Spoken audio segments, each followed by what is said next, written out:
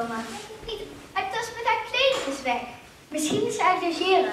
Zei ze niet dat ze, bij- dat ze bij die ene vriendin bleef slapen? Die, hoe heet ze? Kelly? Echt? Dat ik die nog niet verteld heb? Je hoeft niet op zo'n toon tegen me te praten, Lotte.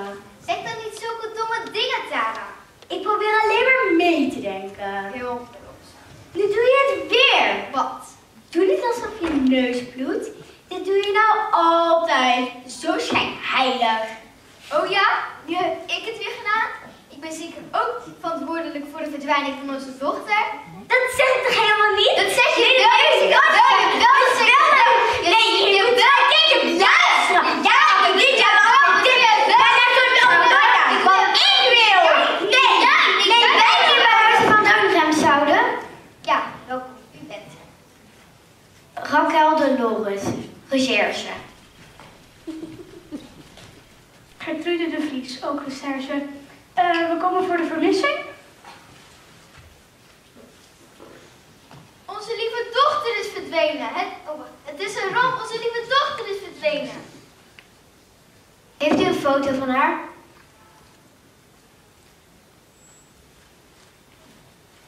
Dan kunnen we die verspreiden. Het Gude jaar onderzoekt de Kamer op sporen van inbraak en. Ontvoering? Waar Wie niet? Ons meisje is de liefste, leukste, knapste, briljantste, slimste van mijn klas. Dus u denkt dat een van haar klasgenoten haar heeft ontvoerd? Bloed! Laat maar. Dus mevrouw, u denkt dat een van haar klasgenoten haar heeft ontvoerd? Een jaloezie. Het kan niet anders. En los geld vraagt ook. Ik heb behoorlijk wat los ge- ontvangen na de dood van mijn vader. Ziet u? Ja, ja. Ze zijn vast uit op jouw geld. Eh, ik heb geen sporen van inbraak gevonden, maar wel dit. Kan het zijn dat ze is weggelopen? Zonder haar telefoon? Dat zou ze nooit doen. Ontvoerd! Het kan niet alles! Wat een ramp! Natasja, je gaat het nooit niet geloven. Annabel is ontvoerd! Mevrouw, laten we nog niet op de zaken vooruit lopen. Laat ons dit eerst op de bodem uitpluizen.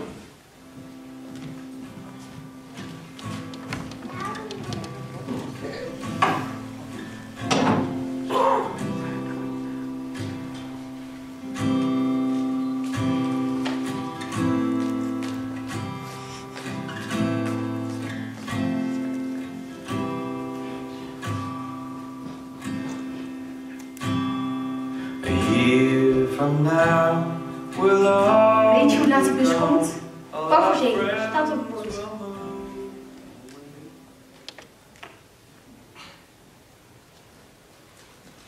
En hoe laat is het nu? Geen idee. Heb je geen telefoon?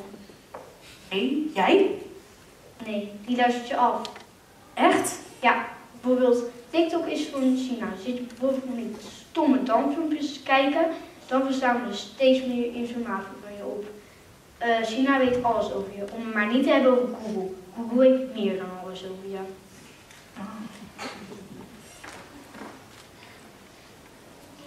Wat doe je hier eigenlijk? Ga je niets aan? Jij? Ik ben weggelopen. Waarom? Nou, mijn ouders zijn verschrikkelijk. Ze maken alleen maar ruzie met elkaar. En ondertussen moet ik zo aardig tegen iedereen doen. Ik ben ook weggevlucht. Voor Google? Nee, voor mijn ouders. Het kan hen toch niet schelen. Hoe heet je eigenlijk? Oscar. Is het je echte naam? Die heb ik zelf gekozen, dus het is mijn echte naam. Hoe heet jij? Annabel.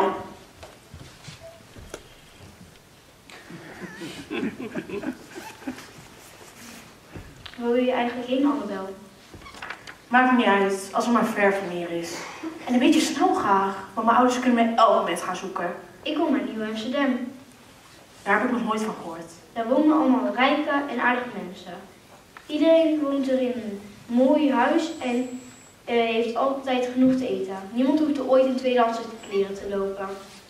Wat ga je daar eigenlijk doen? Op zoek naar een vrouw die altijd kinderen wilde hebben. Die wordt dan mijn nieuwe moeder. Dan kan ze voor me koken, kleren kopen, spelletjes doen en dingen doen die je hoort te doen met een moeder. Ze praten daar alleen maar Engels. Kan jij dat? Nooit, nog niet. Jij? Yes, I speak English very good. Ik heb wel zin in croissantjes. Wel verrijden. Die bus mag wel een beetje opschieten.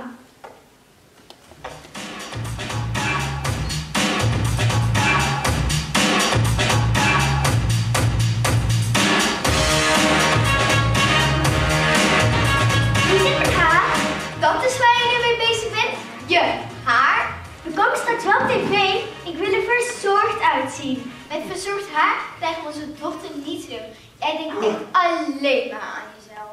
Dat is helemaal niet waar. Dat is wel waar. Jij denkt wel aan jezelf. Jij denkt wel aan jezelf. Jij denkt wel aan bent. Jij denkt wel aan bent. Jij denkt wel aan bent. Jij denkt jij aan jezelf. Jij dat jullie hier zijn. Wat een heftig verhaal zeg. De vermissing van jullie dochter. Nou, we gaan straks live. Dus zorg ervoor dat je een beetje kijkt. Dat helpt voor de kijkcijfers.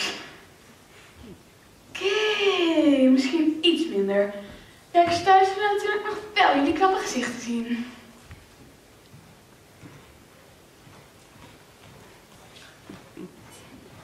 We gaan live in 3, 2.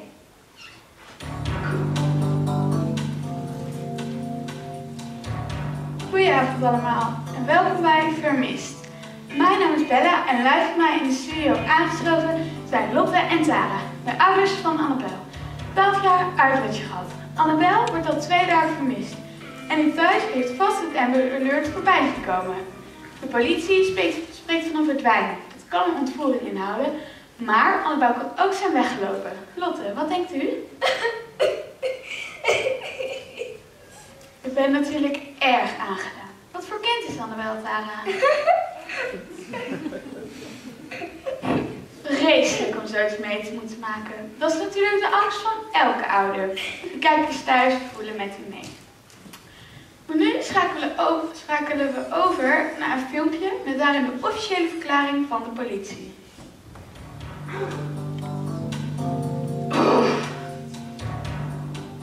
Ik snap dat u bent aangegaan, maar zo kan ik geen televisie maken. Jullie zijn niet te verstaan. Hier, heb je een tissue. Droog je tranen en haal een keer diep adem. Ik probeer hier wel een programma te presenteren. Over 10 seconden gaan we weer live. En dan wil ik antwoorden op mijn vragen. We gaan live. Terug naar live in 3, 2. Zoals u net hebt kunnen zien, maakt de politie zich ernstig zorgen om Annabel. Ze is zonder telefoon van huis weggelopen en de politie was volledig in het duister. Eh, Lotte, heeft u misschien een idee waar Annabel naartoe kan zijn gegaan? Ik dacht eerst op. Daarna wel even. Juist, ja. Mocht u Annabel hebben gezien, bel dan naar het nummer wat hieronder in beeld verschijnt. Alle tips zijn zeer welkom. Annabel, als je kijkt, je ouders missen je enorm en maken zich grote zorgen. Kom snel thuis. Bedankt voor het kijken naar Vermist. Morgen zijn we terug met een update. Zelfde tijd, zelfde zender. Voor nu, bedankt voor het kijken. en nog een veilige avond. Oh, wat een blamage. Echt joh. Oh, jullie verpesten mijn complete programma.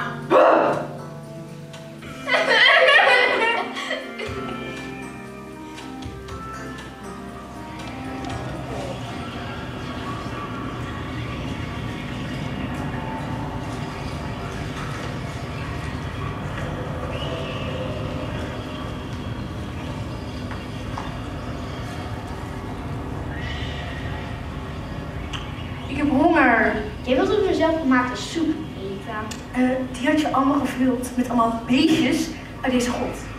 Dat lust ik niet. Er zaten veel eiwitten in hoor. Wormen zijn heel voedzaam. Oeh, een slag. Die zijn heel lekker als je ze kookt. Nee, dank je. Ik heb meer zin in pizza of zo.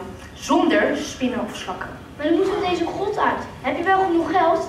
Er zit vast wel een supermarkt in de buurt. Nou, laten we die dan gaan zoeken, hè? Maar ja, op de heenweg hingen allemaal posters met jouw gezicht op. Ik denk dat iedereen je herkent. Maar we kunnen hier toch niet blijven zonder eten? Alles wat ik heb meegenomen is erop. Deze god is veel te koud. Mijn slaapzak is niet dik genoeg. Worden we nog verkouden. Je bent wel een beetje, eh, je bent wel een beetje een barpopje, hè? Het is goed voor je. Je wordt er hard van. We kunnen wel ergens anders heen, maar dan moeten we wel voor zorgen dat we goed verstopt blijven. Als het donker wordt, kunnen we op zoek naar een nieuwe plek. Misschien vinden we wel een woonwijk met wat een prullenbak met wat rustjes eten erin. Of we pakken een konijntje uit het bos. Dus je geen konijn. Misschien kan ik wel een visje voor je vangen. Toen mijn vader nog leefde, gingen we altijd samen vissen. Hij heeft me al deze vuilste skills geleerd. Nou, laten we zo maar gaan dan. Ik hoop dat het droog blijft. Met geen tent of regenjassen. Gezellig is deze god niet. Maar het is in ieder geval wel droog. Het komt wel goed hoor. Wel- We vinden wel een plekje. We zijn in ieder geval wel samen.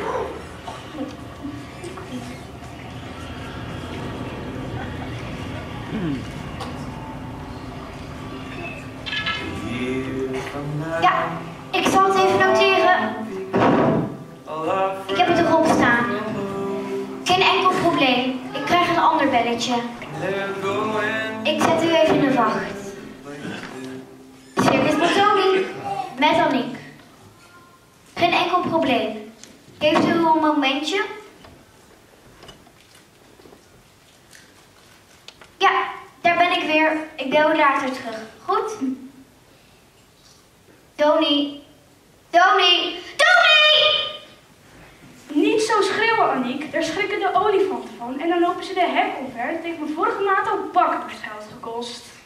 Straks een afspraak met, met die Noes en er hebben net drie verschillende mensen gebeld met vragen over de kaartenverkoop. Ik weet dat ik een afspraak heb. Kun jij de rest niet regelen? Tony! Waar is het pak voor mijn ek? Er zou een slangenpak binnenkomen. Geen tijd. Vraag maar aan Aniek. Oh, Aniek! Sorry, het had vanochtend binnen moeten komen. Zo kan ik vanavond toch niet op. Ik moet nog, ik moet nog alle slangenmens ek maken. Terwijl ik eigenlijk een trapeze-artiest ben. Zonder pak wordt het één grote aanfluiting. Misschien kun je zelf iets maken.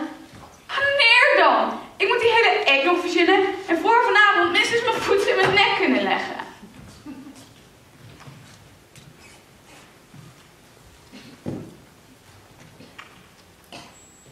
Hoi. Helpen? Aniek, je was met mij bezig. Vraag Tony maar gewoon.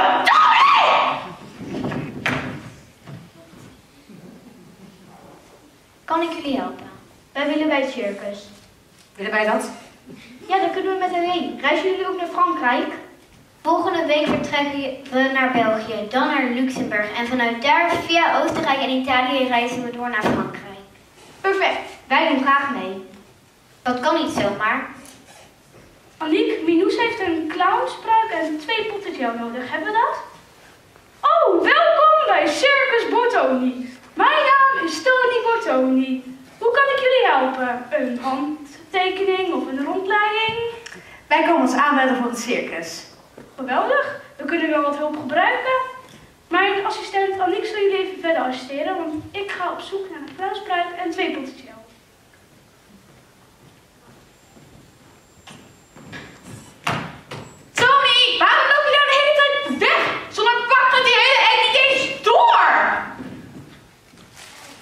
We zoeken blijkbaar nog een slangenmens. Ik dacht zelfs aan die stoerders. Een vlieger? Oei, eh, nee. Wereldtemmer? Dit! Is dat niet heel gevaarlijk? We zoeken ook nog een boom. Een boom? Op de achtergrond? Nou, dat kan denk ik wel. Monique, ik ben mijn autosleutels kwijt. Oh, jullie zijn er nog. Wat is het geworden? Ze zijn wel geïnteresseerd in de rol van de boom. Geweldig. Dan krijg je een pruikop van 4 meter breed en 6 meter hoog. Eindelijk een essentieel onderdeel voor de tijgeract. Tijgers? Aniek regelt het verder.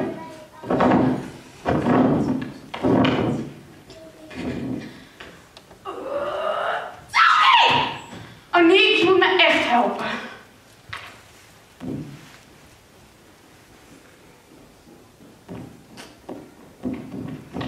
Zoei, belangrijk telefoontje. Lekker dan, zo komt het nooit Hé, hey, jij ziet er uit. Kun jij me misschien helpen? Zo lelijk ben ik niet hoor. Je bel je op ergens voor over. Zie je wel, perfect.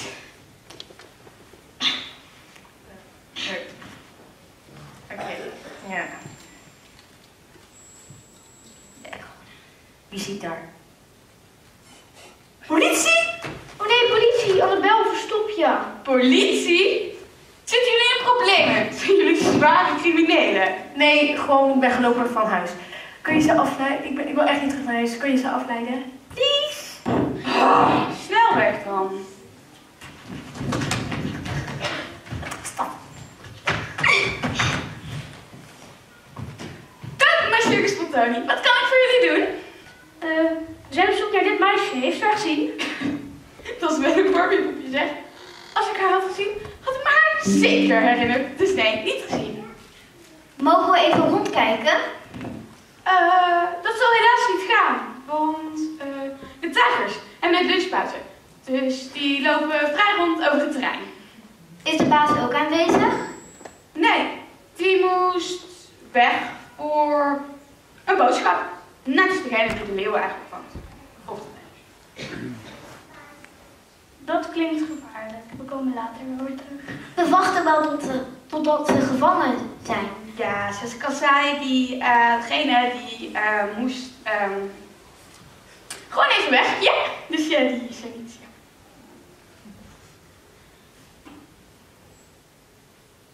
Maar, hè? Dus aangezien de baas er niet is, is het wel handig als je niet maar gaat. Wat is jouw naam? Als we straks terugkomen wil ik jouw verhaal controleren bij de baas. Ellie, ik doe je de trapeze. Heb je toch geen last van hoogtevrees?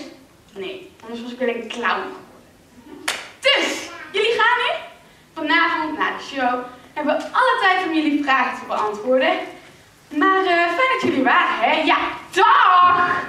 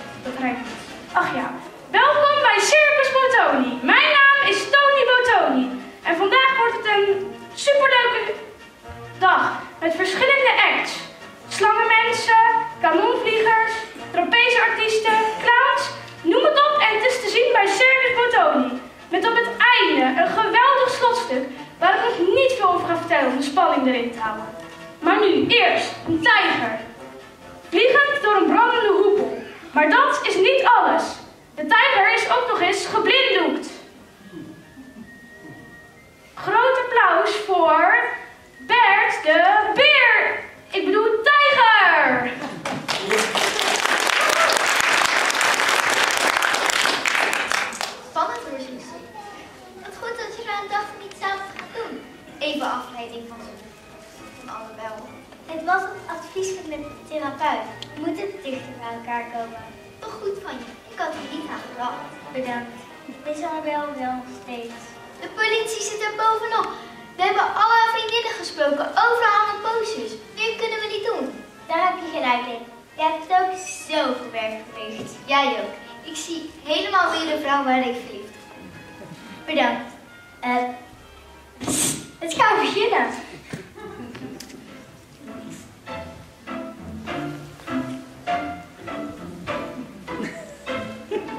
Ik